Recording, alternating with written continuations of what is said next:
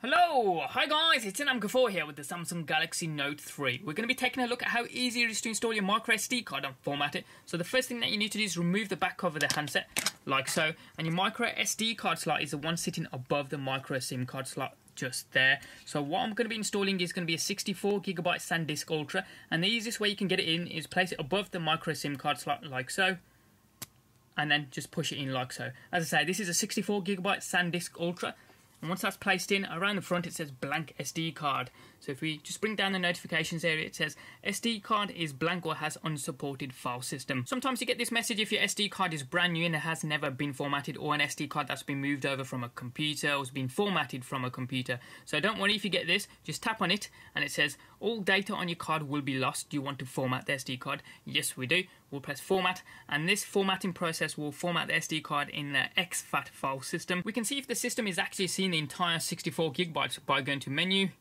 settings, go to the general tab, scroll down to where it says storage, scroll down again and it says SD card total space 59.47 gigabytes available space 59.47 you don't quite get the 64 gig in full if you didn't get the message in your notifications area saying that your SD card is blank and your phone cannot see that storage either it may be an idea to come down to this section unmount the SD card because in some cases it doesn't fully mount it and then mount it again once it's done the unmount. So you can see it's done the unmount here. Under SD card, the only option there is mount SD card. So we'll press mount and then it says there, scroll down again, total space 59.47, which is the same as the available space. Any issues at all once you've mounted it, maybe an idea to format it fresh from here again. Links are in the description down below if you're after a 64 gig micro SD card. As ever, any comments or questions you guys have got, hit them up in the comment section down below there. Give us a thumbs up if you like this video and you like whistle, and if you haven't already done so, hit subscribe. It's also down there as well. Doesn't cost you a penny, and you can also check out some of our forthcoming videos.